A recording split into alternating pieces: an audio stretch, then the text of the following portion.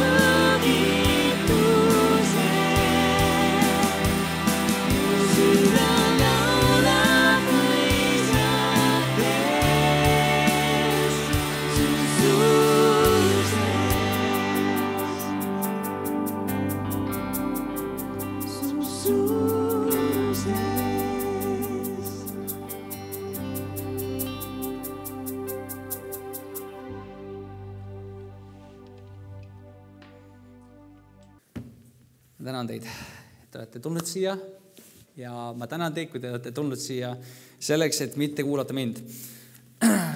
mida ma tahan sellega öelda, on see, et mitte see, et noh, et miks teie peaksite mind kuulama, et miks minu naine peaks mind kuulama või miks üldse keegi peaks mind kuulama.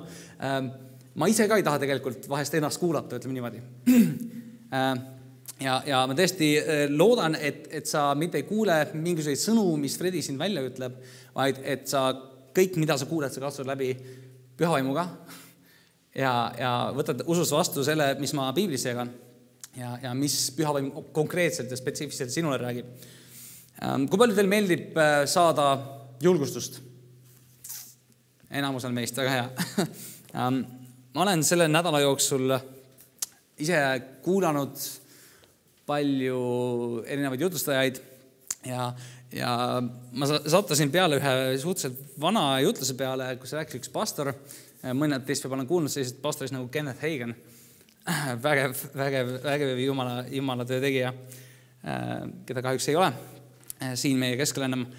aga tead, see mees täiega on jätnud väga suure pärandi, pärandi igale ühele, kes, kellel on võimalus kuulata tema jutlusi.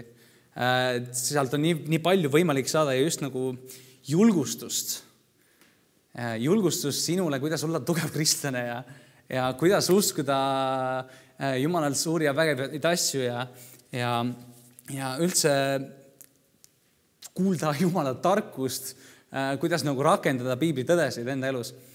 et äh, ma olen lihtsalt kuulanud ja kuulanud ja, ja ahetanud, et Jumal, et Jumal, sa oled nii vägev.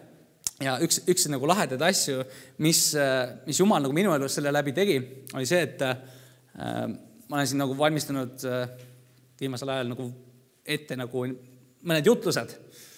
et äh, järgnevatel pühapäevadel samamoodi ma jutlustan. et äh, kui pastorit ei ole, siis, äh, siis minul on võimalus esmakordselt teha esimene jutluse seeria. ehk siis tuleb kaheosaline jutlusteemal isa armastus. Ja, ja tead, kui ma kuulasin neid erinevaid pastoreid ja jutlusi, siis ma mõtlesin, et see, mis ma olen nagu ise nagu juba oma vaimus äh, saanud valmis ja, ja pannud paika oma nii-öelda märkmetes ja niimoodi, jumal niivõrd palju kinnitab seda läbi, läbi teiste, teiste jumalate tegijate ja, ja, ja, ja ma mõtlen, et ma just lugesin seda ja, ja ma just, just uurisin seda ja, ja ma just, just sain selle ilmutuse ja, ja siis kuulen, kuidas keegi teine nagu räägib täpselt neid samu asju. see on nagu, see on niivõrd äh, tugevaks julgustuseks äh, minule äh, ja mitte, mitte, mitte ainult ei ole julgustuseks sellised asjad, noh, et, et kui keegi tuleb sulle, ütleb, jaa, kuule, tõesti, see oli hea jutlus, vaid, vaid see, kui sa tõesti äh, oled nagu olnud Jumala sõnas ja, ja saad nagu mingeid asju aru ja siis, ja siis kuuled, et keegi teine on nagu täpselt samamoodi aru saanud, siis nagu jess, et ma olen ikka õigel joonel, ma saan asjadest õigesti aru. Ähm, ja täna ma tahaksin ka sind julgustada me oleme kolmapäeviti äh, siin Äh, viimased, viimased kolmapäevad pastor Pärri on rääkinud äh, sellisel teemal nagu, et äh, Jumal suudab teha kõike.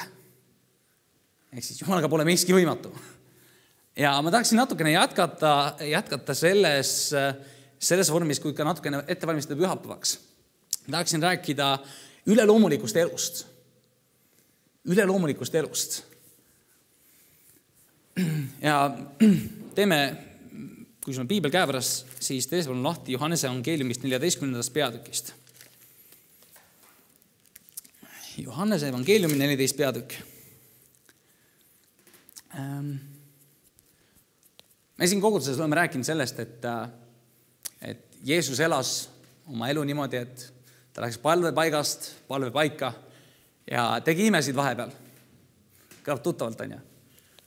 aga aga ma tahaksin selle natukene nii-öelda teha sellise Fredi tõlke või message, message'i versiooni sellest, sellest ütlusest ja öelda, et, et äh, Jeesus elas elu suhtes oma isaga ja elas normaalset elu. ta elas normaalset elu. Jeesus kui meie nagu ülim, ülim eeskuju vennana näitas meile, milliselt isa tahab, et meie elaksime oma elusid et me oleksime lähedases, intiimses suhtes temaga. ja, ja, ja lihtsalt läheksime ja elaksime seda, mida me kogeme Jumalaga koos olles. sest äh, kui palju on kogenud seda, et kui sa oled Jumalaga koos, siis sinu asjas, sinu elus toimuvad imelised asjad. sinu elus toimuvad arengud, läbimurded äh,. sa elad usust, sa, sa lähed läbi hämmastavatest raskustest äh, ülimalt kergesti. ja, ja, ja sa saad nautida elu selle läbi. Jeesus nagu näitas meile seda, milline on elada nii-öelda normaalset elu milline on üks normaalne elu, elu ilma, elu ilma patuta muidugi. Jeesus elas oma elu täielikult ilma patuta. ja, ja, ja, ja kujuta ette, et meie võime nagu läbi tema kogeda midagi sel-, midagi sarnast. tema on loonud meile võimaluse olla ühenduses kõige kõrgema Jumalaga et see ei ole mingisugune ainult ühe rahva privileeg või midagi sellist, kogu maailma inimesed võivad olla suhtes Jumalaga, meie taevas isaga. see on, see on, see on midagi vägevat. ja, ja tänu sellele, et Jeesus lõi selle, selle võimaluse meile läbi selle, et ta suri ristil ja tõusis surnust ülesse, siis meie saame minna vabalt oma Jumala juurde. ja selle läbi me ei pea elama oma elusid üksinda ja täpselt samamoodi me võime käia Jumala juurde, olla temaga koos, saada üles ehitatud, saada julgustatud, saada usus tugevdatud ja minna maailma ja elada oma elusid koos temaga. mitte lihtsalt elada oma elusid siin maailmas, vaid elada seda elu siin maailmas koos temaga. ja see on midagi hämmastavat ja ma tahan, et, et sa mõistaksid seda täna õhtul ähm, aga kui sa otsi siia Johannese neljateistkümnendas peatükki, tahan lugeda midagi, mida Jeesus ütles. Johannese neliteist, kaksteist kuni neliteist salmid. Jeesus ütleb, et tõesti, tõesti, ma ütlen teile, kes usub minusse, see teeb neid samu tegusid, mida mina teen. ja te teete nendest hoopis suuremaid, sest mina lähen isa juurde. ja mida iganes te palute minu, minu nimel, seda ma teen, et isa saaks kirgastatud pojas.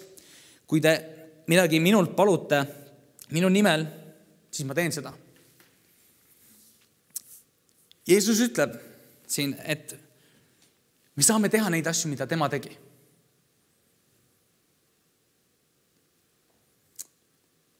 Ma kujutan ette, et Jeesus oleks muidugi jutumärkides, kui ta oleks hakanud seda laiali äh,, laiali seletama, siis ta oleks välistanud siin mõningad asjad nagu näiteks äh, risti peale minemine ja maailma patude ees suremine. okei okay,, seda, see on arvatavasti midagi, mida me ei saa teha. aga, aga on väga paljusid asju, mida Jeesus tegi oma elus, saame ka meie teha.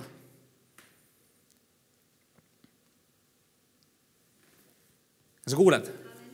me saame teha neid asju, mida Jeesus tegi me saame minna, kõndida tänava peal, puutuda kokku haigete inimestega ja, ja paluda, et Jumal teeks nad terveks. inimesed võivad saada terveks. me võime käia usus, me võime läbi minna raskustest. me võime läbi minna eluohtlikest olukordadest, ilma et mitte midagi tuleks meile pihtagi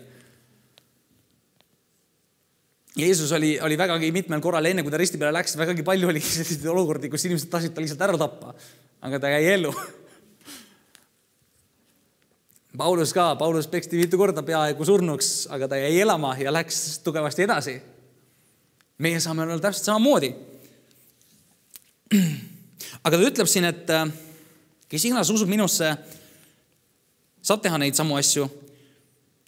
ta ütleb, et kui te palute midagi minu nimel isa käest, palute midagi isa käest minu nimel, siis ma teen seda teile.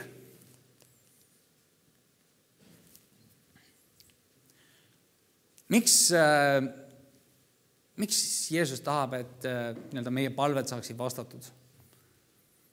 siin kirjakohas on öeldud, et ta tahab selle läbi tuua au isale et ja see, piibel räägib ka seda, et, et Jumalal, see on Jumalale heaks meeleks, kui ta saab oma lapsi õnnistada. tal meeldib seda teha.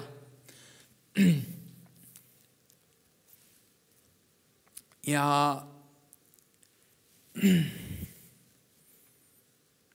kui sa mõtled selle peale, mis asi üldse on üleloomulik,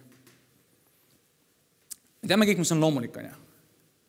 loomulik on see, et sa hingad, sa käid tööl. see on loomulik, et see kantsel siin seisab. Kui sa hakkaks siin hõljuma, siis sa võiksid natukene paanikasse sattuda.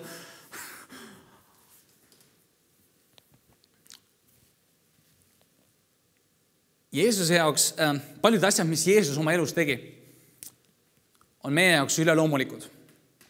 aga tegelikult see on nagu sõna või termin, mis on nagu nii-öelda meie enda poolt välja mõeldud. selles suhtes, et Jeesuse jaoks oli see kõik normaalne. Jeesus nagu ootas, Jeesus ütles, et kui ma ütlen midagi, siis nii sünnib, ta ütleb, et, et kas tahad saada terveks? jah, ma tahan saada terveks, no siis tõuse püsti, hakka kõndima. seal ei olnud mingit küsimust Jeesusel. ta ei öelnud, et kuule, et kas sa, kas sa juba tunned midagi oma jalgades või, või või kuule, et kui see pimeda tahab, pime, pime tahab saada nägijaks, et kuule, kas sa juba vaikselt, kas sa juba näed mingisugust valgust, vot kõnni see val, selle valguse suunas. Jeesus ei, ei, ei rääkinud mingisugust sellist hämast juttu.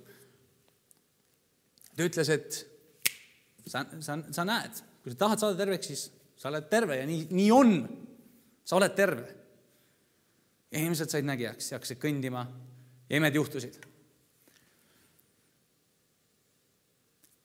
Jeesus käis usus. Jeesus käis usus. tal oli usk oma isasse ja ta teadis, ta teadis täpselt, mida ta isa tahtis, et tema teeks. Ja ta uskuski, et nii on. ja meie saame täpselt samamoodi elada usus. Ähm, me ei saa nimelt elada üleloomulikku elu ilma usuta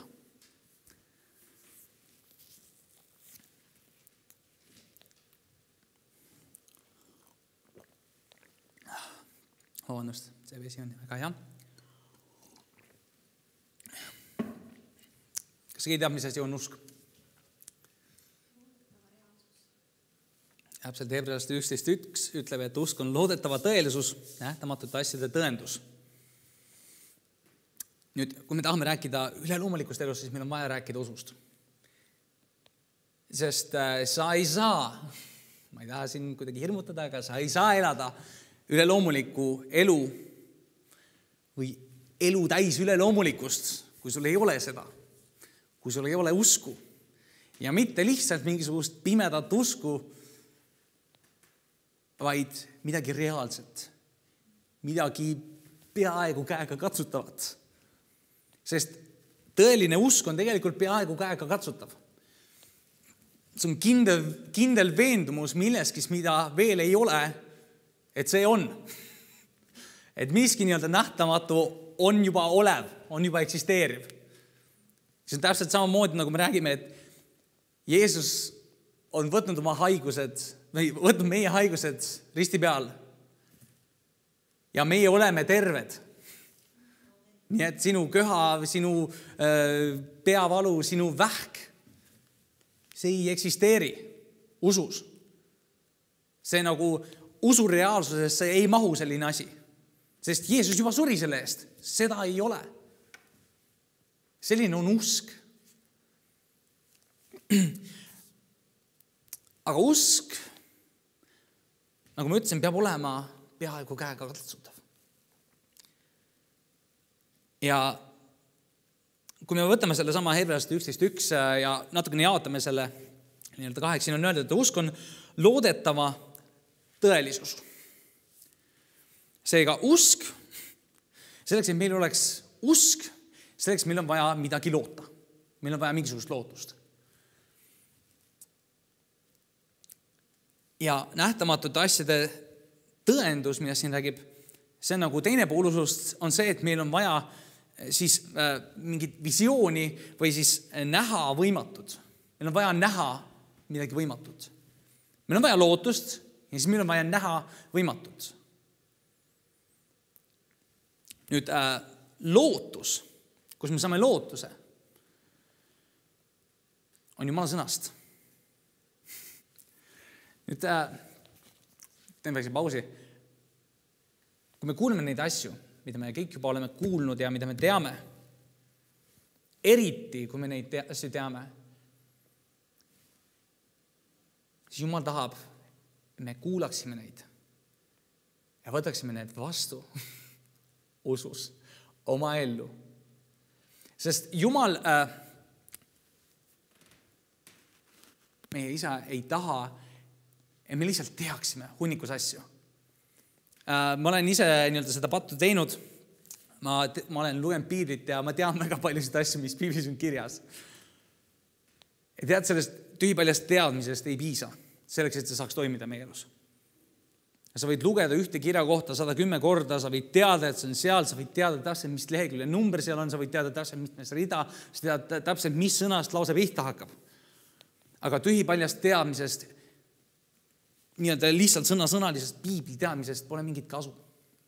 mingit kasu sellest kindlasti on, aga, aga see ei ole, see ei loo seda reaalseks sinu jaoks ilmtingimata. kui sul pole usku kui sul pole usku sellesse, mis siin piiblis on kirjas, siis võib teada väga palju. väga palju on piibli teadlasi, kes teavad piiblist väga palju ja on uurinud asju välja, aga neil ei ole usku. kui me tahame elada tõeliselt kristlase elusid, siis meil on vaja usku nendesse asjadesse, mida me teame.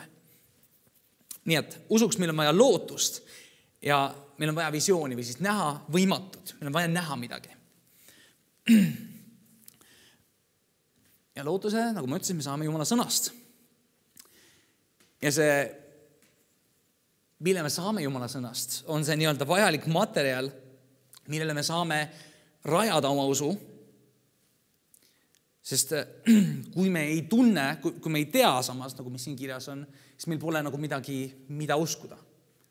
nii et nagu ma ütlesin, et pole kasu sellest, kui me lihtsalt teame, mis Jumala sõnas kirjas on aga ei usu seda, aga samas me ei saa uskuda, kui me midagi ei tea. kõlab loogiliselt.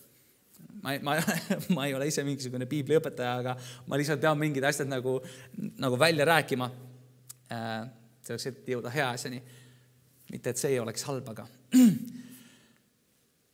nüüd, kui sa tead, mis jumala sõnas kirjas on, ma nii-öelda ehitan üles teie seda pinget vaikselt, aga kui me teame mis on Jumala sõnas kirjas ja me usume seda, siis selleks, et seda käivitada nii-öelda, selleks, et oma usku tööle panna, selleks, et käivitada oma usku, me peame teadma, andma sellest nii endale, siis teadvustama endale seda. ja me peamegi Jumalale ütlema, mis siin on. Jumal, kas sa tead, et sa oled oma sõnas öelnud nii sa oled öelnud, et Kristuse vermete läbi ma olen terve. ja ma usun seda. nüüd ma lähen oma eluga edasi. ma tean ja ma usun, et mina olen terve. see on midagi käegakatsutavat. see on midagi kindlat. see on midagi väga selget. sest sa tead midagi sa usud midagi ja sa oled Jumalale öelnud, et sa seda usud. sest Jumal teab, vaata, meie mõtteid küll.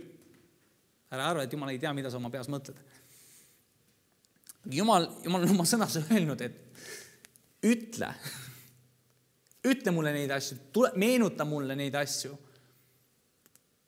piiblis räägib sellest, et me ülistame Jumalat nende psalmidega ja me toome palves eh, nii-öelda sõna tema ette see on otsekui nagu vajalik selleks, et me saaksime panna oma usku tööle ja üldse palvetada. Äh, sest üks äh, nii-öelda suurimaid kohti tegelikult, kus me kristlastena usume midagi, ongi palves, on nii? me läheme palves Jumala ette, äh, ütleme, Jumal, mul on selline probleem, mul on selline mure, et nüüd palun tee midagi ja, ja ma usun, et kõik saab korda ja on keegi kunagi niimoodi palvetanud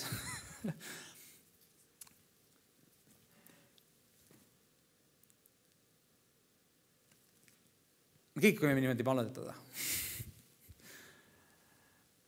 Äh, üks, äh, toon siin näite, et äh, üks ärimees sai ühe kirja ühelt täiesti suvaliselt inimeselt, kes kirjutas oma kirjas, et tead, ma tean, sa oled suur ja tähtis ärimees ja sul on nagu hunnikus pappi, aga mul oleks sulle pakkuda välja üks miljardidollariline idee kõlab hästi, onju, mul on miljardidollariline idee. ja et äh, kas me saaksime kokku ja me saaksime arutada sellest, et kuidas seda nagu teha ja, ja kuidas ma võiksin selle miljardi dollarise idee nagu täide viia kõige paremal viisil, onju. noh, küsis nõu. ärimees vaatab seda kirja, mõtleb ja kirjutab siis vastu. ja noh, ärimees äh, nii nagu ta on, et tal nagu aeg on raha ja, ja üldjuhul nagu nõustamised äh, sellise mehega nagu maksavad päris palju ja, ja ta siis mõtleb, et okei okay,, et äh, noh, ma olen nõus selle mehega kokku saama siis, et kui tal tõesti on miljardi dollarini idee, no üks tingimus on. kui sa tahad minuga kokku saada, siis vasta mulle sellele küsimusele õigesti ja kui sa vastad sellele küsimusele õigesti, siis ma võin täiesti tasuta sinuga kokku saada, minna sinuga lõunale ja rääkida sellest ideest, mis iganes. ja ta küsib tema käest küsimuse, et kas sul on kunagi olnud miljoni dollariline idee? selle peale mees vastab, et ei. siis ta küsis tema käest sellise küsimuse, aga kas sul on olnud kunagi saja tuhande dollariline idee? ütleb, et no ei. siis ärimees küsib, et kas sul on kunagi olnud mingisugune idee, mis on sulle kuidagi toonud sisse tuhat dollarit? ja mees vastab sellele ka ei. nüüd point selle juures oli see, et äh, miks sa hüppad nii kaugele, miks sa, miks sa nii-öelda hakkad välja mõtlema siin midagi, mis, mida nii-öelda täielikult üldsegi ei eksisteeri. et no okei okay,, kui sul on see miljardi dollarini idee, siis noh, mine ja tee seda. ja kui see on miljardi dollarini idee, siis küll see sul õnnestub ja sa saad mil-, miljard dollarit. millel, millel see, millel see pidi tuginema, millel see põhines? Tal ei olnud mingisugust tagamaad, tal oli lihtsalt mingisugune idee ja ta arvas, et ah, et äkki kui ma selle inimesega kokku saan, et ah, äkki me kuidagi teeme selle nagu kõvaks äriideeks. sellel ei olnud mingisugust liha. selle, selle idee taga ei olnud mingisugust äh, tugevast midagi, millele ta oleks saanud kinnitada ja öelda, et jah, näed, see, vot selle valemi põhjal vot ongi miljard dollarit. nüüd äh, pastor Kenneth Hagen tõi ühe sarnase näite palvetamise suhtes. ja, ja ta ütles, et tema juurde tulevad paljud inimesed, äh, on tulnud siis äh, selliste pal-, äh, palvesoovidega ja küsinud tema käest, et, et või noh, läinud tema juurde ja öelnud, et ah, et palvetame selle, selle asja pärast, et mul on siin olukord ja ma usun, et asjad on nii ja lähevad nii ja, ja, ja usume nüüd üheskoos ja, ja palume. ja siis Kenneth Hagen nagu küsis, et no okei okay,, et ma võin sinuga uskuda neid asju, aga mis kirjakohale sa toetud? mis kirjakoht sul on selleks, et tagada seda usku, mis sul on? et mis kirjakohale sa toetud praegu? no vastuseks oli üldjuhul selline, et no, noh, ei, ei midagi kindlat, noh, on küll kirjakohti, midagi, millegile kindlale ma ei toetu praegu. ja siis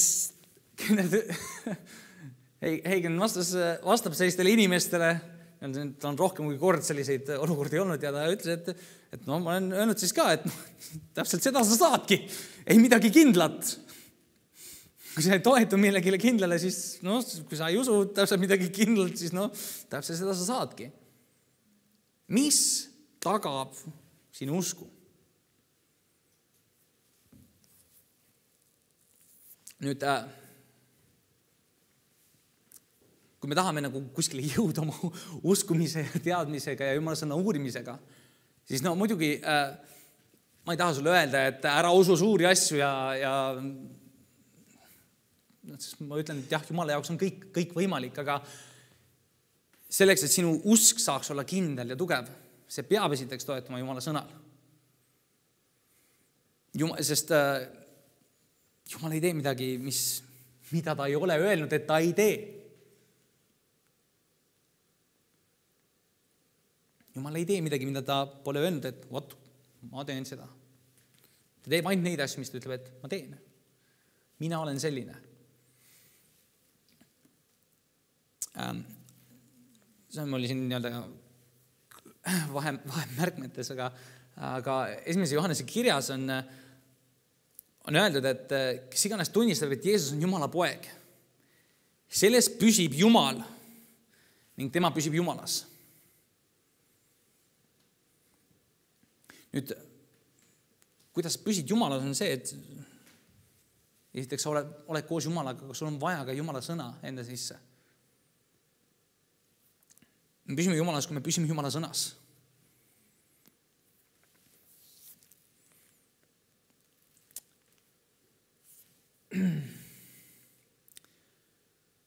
mille peal sina seisad? mille peal sina seisad oma igapäevaelus? Mille peal sa seisad oma, oma nii-öelda kristlikku elu elades? kas sa lihtsalt tead mingeid asju Jumala sõnast ja, ja jah, jah, Jumal on öelnud nii. aga, aga sa ei usu seda nüüd äh, mina rohkem ja rohkem märkan neid asju, et äh, nii-öelda Jumal kasvatab mind ja, ja paneb, paneb mind nii-öelda proovile, et, et kas ma panen tähele asju enda elus. et tõesti, kui ma midagi palun ise.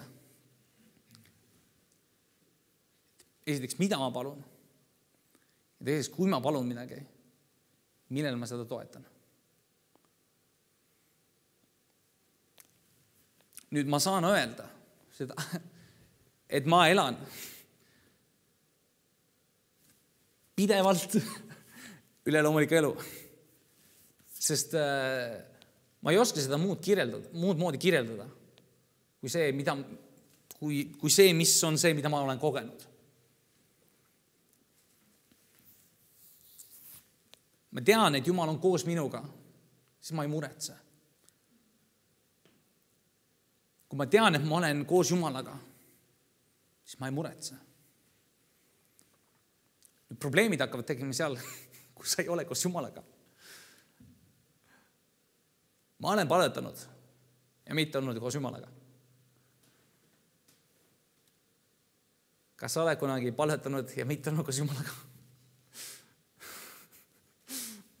väga, väga hea näha, et meil on siin veel mõningaid ausaid inimesi sest me võime paluda paljusid asju. Aga kui me ei ole koos Jumalaga, kui, meil ei ole Jumala sõna selles, siis äh, see on nii-öelda otseses mõttes hukule määratud. nüüd ma käin, ma käin usus. erinevatel aegadel mul on usk on tugevam, usk on nõrgem ma käin läbi raskustest täpselt samamoodi, nagu sina käid läbi raskustest. mul on väljakutsed, täpselt samamoodi nagu sul on väljakutsed. nüüd ma usun, et Jumal tahab, et me ise nagu nii-öelda analüüsiks oma elu ja vaataksime, et kus miski on toiminud ja miks ta on toiminud. ma olen tähele pannud enda elus, et miks, et kui midagi on toiminud, siis miks ta on toiminud on see, et ma olen olnud koos Jumalaga. nüüd äh, ma olen abielumees ja üks äh, nii-öelda väljakutseid minu elus on äh, nii-öelda kommunikeeruda oma naisega. ja naisega suhtlemine võib olla väga keeruline, üldse inimestega suhtlemine võib olla keeruline. ma näiteks naisega suhtlemine pole üldse nii keeruline nagu mõne töökaaslasega suhtlemine on keeruline aga, aga näiteks tekib mingisugune probleem, kas kellelgi on kunagi kellegiga mingisugune konflikt või arusaamatus tekkinud? arvan, et kõigil ma olen väga selgesti hiljem aru saanud, kui ma olen olnud koos Jumalaga ja kui ma olen olnud ilma Jumalata. sellepärast, et tulemused on hoopis teistsugused näiteks mina olen nõrk, ma olen väsinud, ma pole päeva alustanud Jumalaga, ma pole üldse mõelnud Jumala sõna peale, ma pole üldsegi kuulanud jutlusi või, või üldse mõelnud Jumala peale, tunnustanud, et Jumal üldse eksisteerib. ja mul tekib mingisugune konflikt naisega, siis ma ei reageeri just kõige paremini. nüüd tänu Jumalale seda ei juhtu väga tihti. vähemalt ma ütlen seda nii usus võib-olla naine vaidleks vastu, kui ta siin oleks. aga näed, saab ära kasutada olukorda aga ma olen igati mõistnud seda, kui ma olen koos Jumalaga, ehk siis kui ma olen iseenda vaimu üles õhutanud, iseennast üles õhutanud vaimus, siis äh, ma oskan, ma olen nagu kaine mõistusega. ma olen võrdlemisi kaine mõistusega tegelemas selle olukorraga. sest minu vaim on tugev. Laulud üheksakümmend üks kindlasti enamus teist teab seda peast. aga äh, laulud üheksakümmend üks, siin on nagu väga kindlalt öeldud sellist asja äh,. siin ähm, üheksakümmend üks lõpus äh, laulud üheksakümmend üks, viisteist peatükk, viisteist salm, vabandust. ta hüüab mind appi. ma vastan temale siin nagu räägib, äh, see laulukirjutaja räägib, et kuidas ta nagu suhtleb Jumalaga, et ta hüüab mind appi, siis inimene hüüab Jumalat appi ja ma vastan temale. mina olen ta juures, kui ta on kitsikuses. ma vabastan tema ning teen ta auliseks. nüüd äh, inglise keeles on vähekene selgem sõna seal kitsikuse asemel, see on kasutatud raskus mingisugune raskus, mingisugune olukord, mingisugune probleem. kui sa oled raskuses, siis ma olen tema juures. nüüd, kui mina ei ole esmalt Jumalaga, siis kuidas Jumal on minu juures? see laul üheksakümmend üks hakkab pihta esimeses salmis, kes kõige kõrgema kaitse all elab ja kõige väelise varju all viibib ja see hakkab pihta nii-öelda ühe väga suure tingimusega. kes on koos Jumalaga, kes on Jumala varju all? temaga koos on tema. tema kõrval tema on ja tema kõrval ta on raskuses. nüüd, kui mina olen koos Jumalaga, siis Jumal on koos minuga. Mul on see kindlus usus, käia seda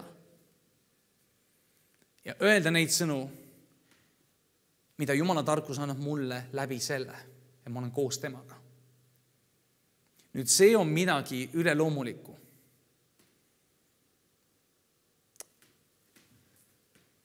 kui sa oskad olukorras, mingisuguses olukorras käituda nii, nagu sina muidu ei käituks, see on üleloomulik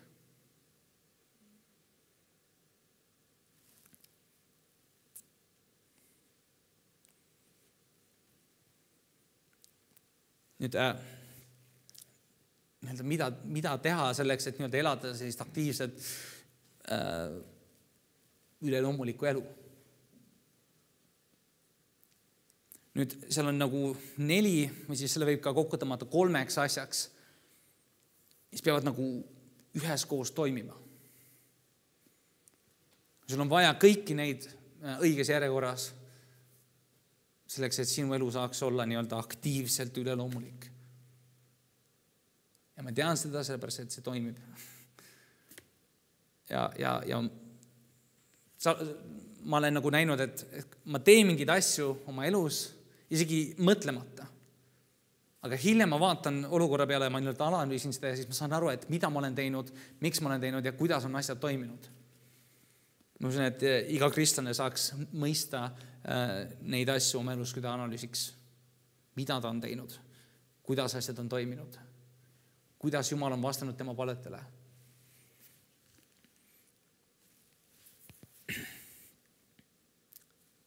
sul on põhimõtteliselt vaja usku, nagu ma rääkisin, sul on vaja nii-öelda sõna nii-öelda sisestamist. Sul on vaja sisestada, alla laadida Jumala sõna enda sisse siis kolmas asi on nagu selline nii-öelda automaatne asi, mille võib isegi nagu vahele jätta, aga sul on vaja võimalusi. ja neljas asi on siis see, et sa pead tegutsema, sul on vaja tegusid. piibel ütleb seda, et usk ilma tegudeta on surnud. usk ilma tegudeta ei ole usk. selle võimalused võib siit nagu selles suhtes ka kõrvale jätta, sest võimalused tulevad meil iga päev, iga sekund, iga hetk. Mul praegu on võimalus, ma võin kas usaldada Jumalat ja öelda seda, mis, mis ma tean, et on Jumala sõna või siis ma võiksin, ma ei tea, improviseerida, öelda, rääkida siin mingi toredaid anekdoote või midagi sellist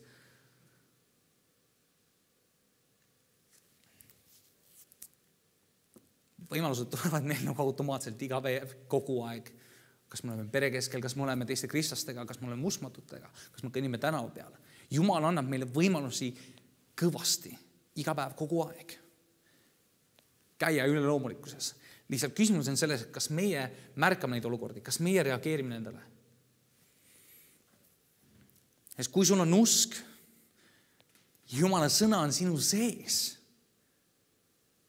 ja sa tegutsed vastavalt sellele, siis sa saad käia, sa saad käia üleloomulikku elu. saad käia üleloomulikku elu. hallo, enne sa ei saa võtta esimest sammu usus, kui sul pole usku. nüüd selleks, et sa saaksid võtta sammu peale usu, sul on vaja Jumala sõna, millele su usk toetub sa ei saa lihtsalt nii, niisama uisapäisa astuda välja, öelda, et ah, küll Jumal midagi teeb. kui Jumal tolles olukorras midagi teeb, siis on Jumala arm. See ei ole usk. ja väga paljud kristlased, äh, mina kaasa arvatud, oleme teinud selle vea, et me oleme nii-öelda võtnud oma usku või siis võtnud Jumala armu oma usu pähe me oleme nagu usus välja astunud, aga tegelikult, kui asi on toiminud, siis asi on tegelikult olnud Jumala armust. saad aru, mida ma mõtlen? et selleks, et sinu, sa saaksid käia usus, sa pead kõigepealt uskuma, sa pead toetuma kindlalt Jumala sõnale ja siis, kui sa astud, siis sa juba tead, et see töötab. sa juba tead, et see toimib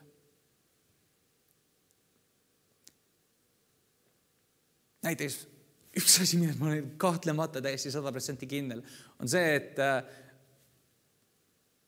kolme nädala pärast pühapäeval pastor Pärri on siin platsil ja ta jutustab.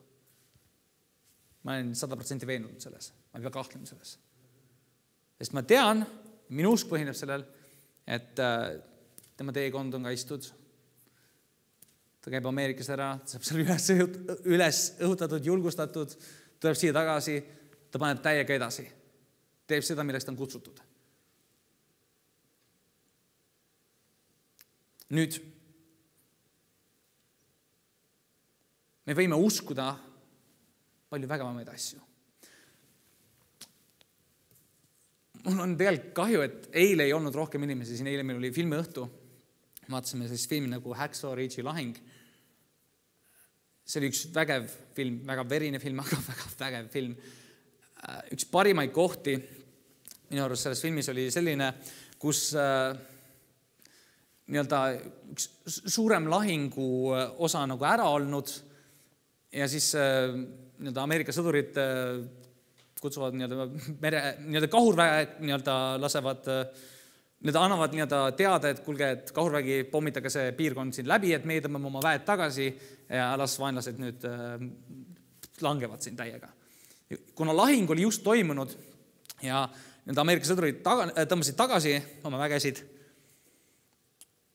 siis seal oli juba väga paljusid haavatuid ja surnuid, nii ameeriklasi kui jaapanlasi, sõdureid siis.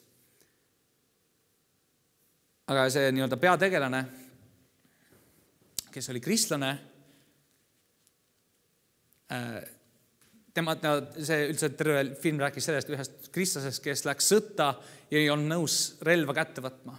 ja tema siis eesmärk oli siis lihtsalt äh, nii-öelda arstiabina aidata haavatuid ja päästa neid lahinguväljalt. ja sellel hetkel, kui nüüd need pommid seal langevad igal pool ümberringi, kõik ülejäänud sõdurid, äh, kes said käia, äh, tõmbasid sealt lahinguplatsilt minema, aga tema jäi üksinda sinna maha ja ta hakkas, ta jäi ühe tüübiga sinna, kes hakkas juba vaikselt surema. ja ta küsib siis Jumala käest, et Jumal, et miks sa tahad, et mina praegu siin oleksin? Jumal, miks sa tahad, et mina praegu siin oleksin? ta näeb, et tagapool nagu pommid juba langevad, Kaurvägi teeb oma tööd, seal jaap-, jaapanlased lendavad igas suunas ja järsku ta kuuleb, et keegi karjub. et meedik, meedik, ta ei näinud kedagi, ta lihtsalt kuulis, et keegi inglise keeles karjus appi. ja siis ta läks sinna. ta läks ja päästis selle mehe, lasi ta sealt nii-öelda mäenõlvast alla köitega. ja siis ta hakkas paluma Jumala käest, et Jumal, palun aita mind, et ma saaksin päästa veel ühe, vähemalt veel ühe. Ja siis ta läks lahinguväljale, kus pommid ümberringi langevad, läks tagasi sinna nii-öelda lahinguväljale, leidis kellegi, kes oli haavatud, aga elus ja päästis tema, sai ta ohutusse paika.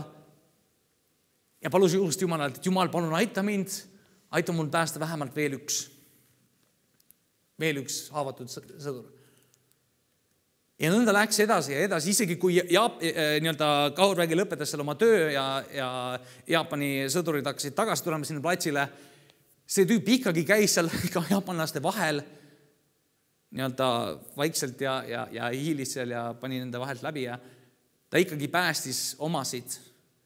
ja ta ikka palus, et Jumal, aita mul päästa veel üks. nüüd see nagu põhineb tõsielul ja, ja seal filmi lõpus rääkis ka, et üle seitsmekümne inimese see mees päästis seal, sellel lahi, ühel lahingul. nüüd, kuivõrd enam võiksime meie päästa inimesi siin, kus pommid ei lange.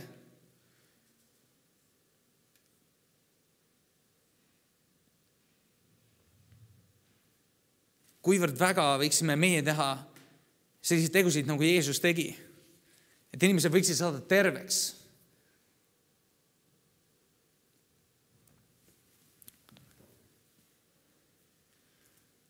nüüd kõige suurem osa selle, selle juures on see kõige esimene, see usk.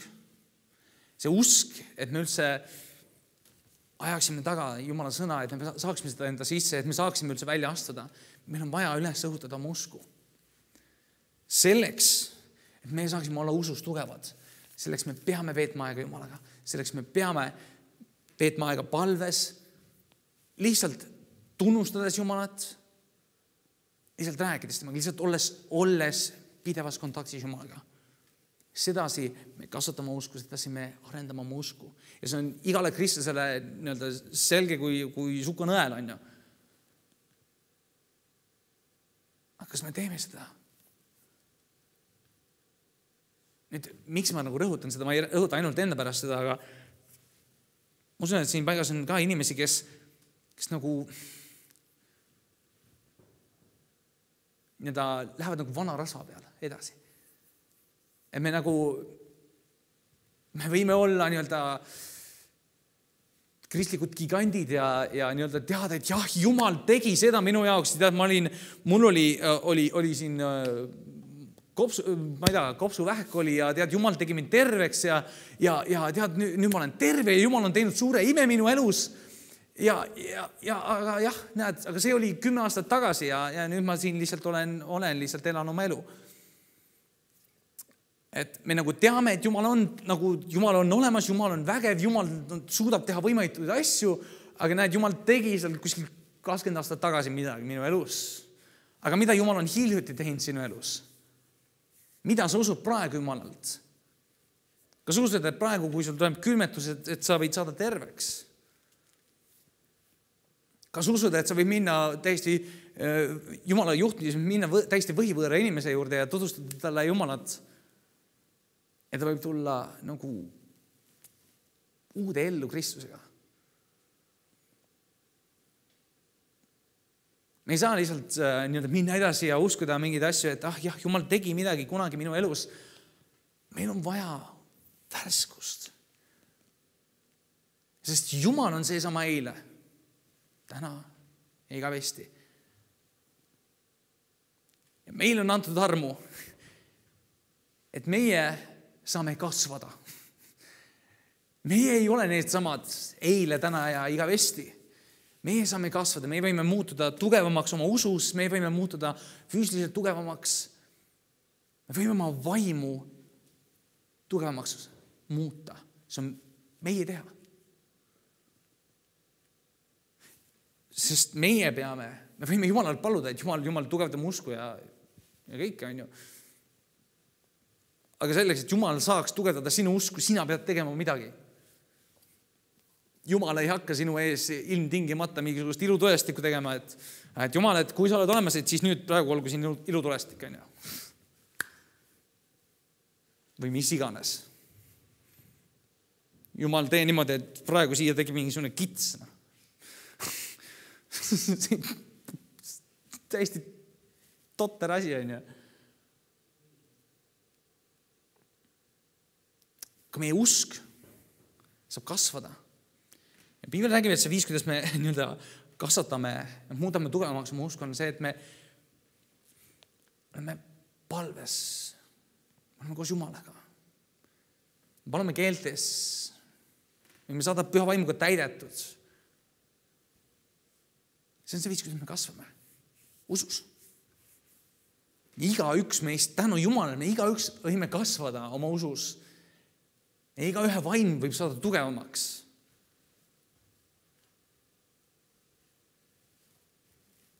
meil võib olla tõesti selline usk, mis paneb mäed liikuma.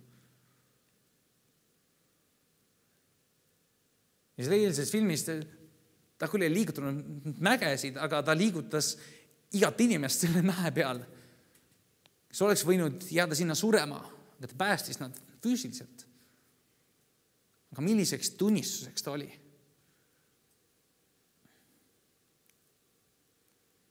meie võime käia iga päev usus ja me võime kasvatada oma usku läbi selle, et me loeme, mida Jumal on tõotanud. uuri seda, mida ütleb Jumal. mida ütleb Jumal, mida Jumal on tõotanud sulle äh,. näiteks kui sa loed, mõtlesin, et on siin näitega, kui sa loed näiteks õpetussõnad üks, kui sa loed seal äh, lihtsalt seda, mis seal kirjas on ja, ja, ja seal on päris huvitavaid asju kirjas ähm,.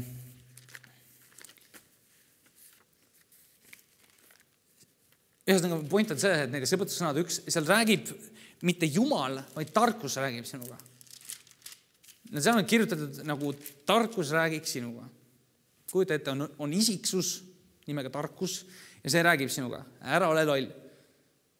sest vaata, näed, kui sul tuleb probleem ja sa mind ei kuulanud õigel ajal, siis näed, nüüd sul on käes see olukord ja mina enam ei aita sind. ja see ei ole mitte Jumal, Jumal ei ole öelnud, et ma ei aita sind, see on seal tarkus. tarkuses pole enam sellises olukorras äh, abi, kui sa oled oma lolli peaga teinud mingisuguseid asju ja liikunud mingisuguse kalju suunas ja järsku oled serva peale kohe kukkumas. vaat tarkus oleks sealt eemale hoidnud, onju. aga Jumal saab päästa sind selles olukorras kui sa loed piiblit, uuri välja, mida ütleb Jumal. nüüd äh, ma, mõtlesin, mõtlesin mõnda aega, et mis oleks, mis asi võib olla usk, kuidas teha sellest nagu selline nagu lööklause, usk nagu kolm tähte, mis, mis, mis sõna võiks iga tähte nagu sümboliseerida? Või noh, akronüüm, kes, kes on siin nagu keeletargad teavad, mis asi on akronüüm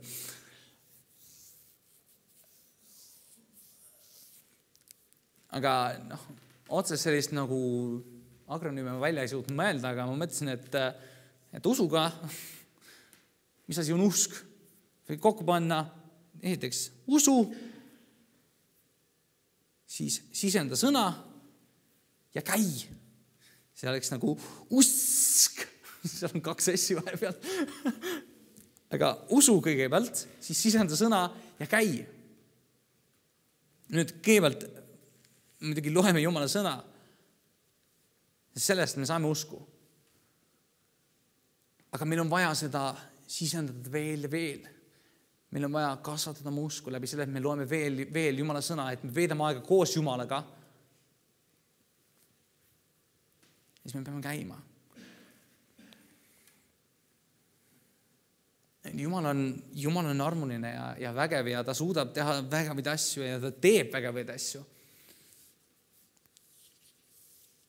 ja ja, ja, tead, Jumal armastab meid nii väga, et ta tahab, et me kasvaksime ja et me tuleksime lähedasemaks temaga. ja räägin tegelikult sellest kõhust rohkem nagu pühapäeval, aga Jumal tahab, et meie armastaksime teda ka. igatseksime teda nii väga, et me lihtsalt tikuksime talle ligi iga päevaga, üha rohkem ja rohkem. Me ei jätaks nii-öelda teda unarusse, see nagu kõige tähtsam suhe, mis meil igalühel on vaja ülal pidada. ja see tegelikult, kui sa teed seda, see ei ole mingi vaev ega midagi. sest me, mida saatan üritab teha, on võimalikult palju hõivata meid hõivata meid millega iganes. kas või, kas või Jumala teenimisega. Tead, sa võid nii kinni jääda Jumala teenimise, et sa üldse unustad Jumalaga suhelda, et Jumal, mis on see, mida sa tegelikult tahad, et ma teeksin, ma lihtsalt teenin. ei, Jumal, ole kuss, ma praegu teenin. kui paljud on kunagi tulnud niimoodi kogudusse, et Jumal, ole kuss, ma olen nüüd koguduses, ma kuulen, mida pastor räägib aga Jumal tahab sulle midagi muud öelda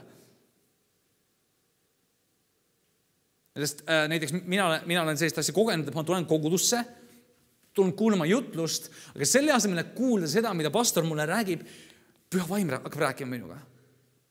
ja ta hakkab mulle rääkima võib-olla küll midagi sarnast sellega, mida pastor räägib, aga üks sõna võib nagu täieliku vestluse luua minu ja Jumala vahel.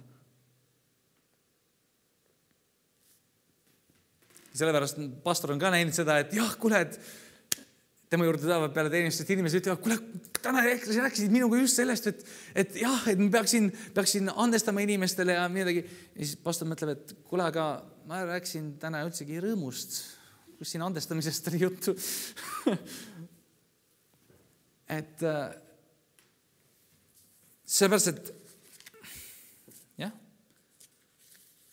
selleks, et meie usk oleks tugev, meil on vaja hoida seda suhet Jumalaga, sest kui me käime koos Jumalaga, kui Jumala sõna on meie sees, kui meie oleme Jumala sõnas, siis me käimegi, siis iga päev tegelikult, mida me käime, me käimegi üleloomulikku elu.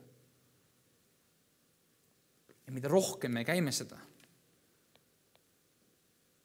mida rohkem me kasvatame enda suhet Jumalaga, seda suuremaid asju hakkab juhtuma. sest üleloomulik ei ole ainult see, kui jalutu hakkab kõndima või pime hakkab nägema. üleloomulik võib olla see, et sinu ümber karjub kümme tuhat inimest ja sa oled täielikus vaikuses. see võib olla sinu ime, see võib olla üleloomulik. sest äh, piibel ütleb, et me ei ela mitte nägemisest, vaid usust ära ela vastavalt sellele, mida sa näed, vaid vastavalt sellele, mida ütleb Jumala sõna. ma tean, täna võib-olla kipus kuidagi koleseks nagu tasaseks ja vaikseks võib-olla, aga aga see on hea. see on hea, kui sa usud. ja mitte ei keskendu sellele, mida sa näed.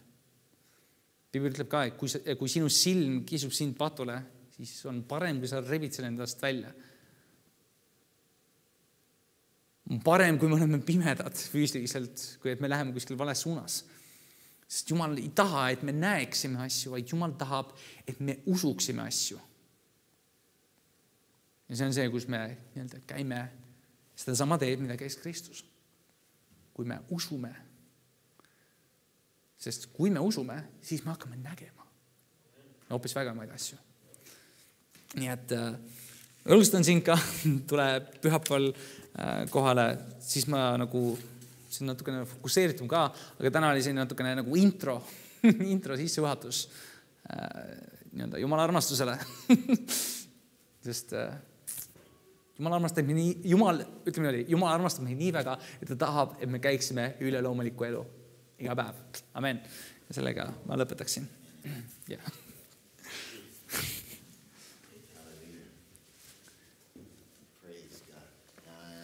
tuli, tuli, tuli. All right, hallelujah. Well, God is good. aga on hea Amen. And I do want to live a supernatural life. ja ma tahan ka elada üleloomulikku, üleloomulikku elu. You know, but uh, one of the things that, uh, let me just share this. One of the things that that film spoke to me that Freddie was talking about. Ma räägin natukene ka sellest filmist, millest Fredi rääkis, et mis see nagu minule kõnetas väga. You know, as we're watching that movie, and, and the guy kept saying, just one more.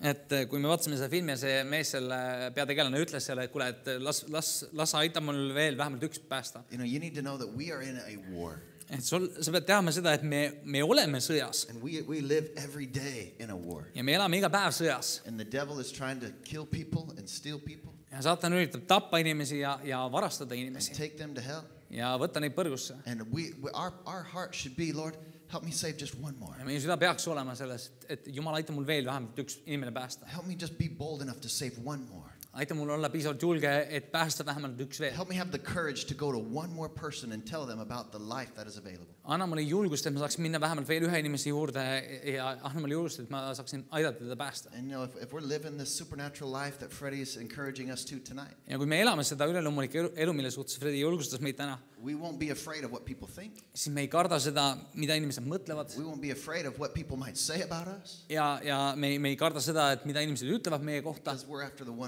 because we're after the one more. sest me ajame taga seda ühte veel. You know, and if we could get one say, one kid saved through the children's parties that we're doing, ja kui me võime saada ühe lapse päästetud läbi nende lastepidude, mis me siin then teeme, Lord, just give us one more. siis Jumal, anna meile vähemalt üks veel. You know, if we could get one person saved when they come to church on Sunday, kui me võime saada ühe inimese päästetud, kui, kui nad pühapäeval tulevad kogudusse, Lord, just give us one more. siis Jumal, anna meile veel vähemalt üks veel. And if we have the courage to, s- to, to go after that, I know God is going to use ja us. kui meil on julgust, et seda taga ajada, siis ma usun, et Jumal kasutab meid. God will use you. Jumal kasutab sind And again, it, it, it doesn't just happen. ja see lihtsalt ei juhtu, It happens with courage. see juhtub julgusega And we need courage. ja meil on vaja We julgust. need to live a supernatural life, meil on vaja elada üleloomulikku elu, which goes above everybody else. mis on üle kõikidest teistest. Where everybody else is worried about what people might think or what your family might think. sest kus kõik teised inimesed võivad mõelda selle peale, et aa, mida küll su pere sinust arvab, mida teised inimesed sinust arvavad. But you're bold enough to say, all right, I'm going to I'm gonna share this life because this is, kas this sina is oled needed, it's piisavalt, necessary. piisavalt julge, et öelda, et, et, et, et ei, ma elan, elan siis sedasi sellepärast, et äh, see on vajalik ja see on hädavajalik. That Before they die,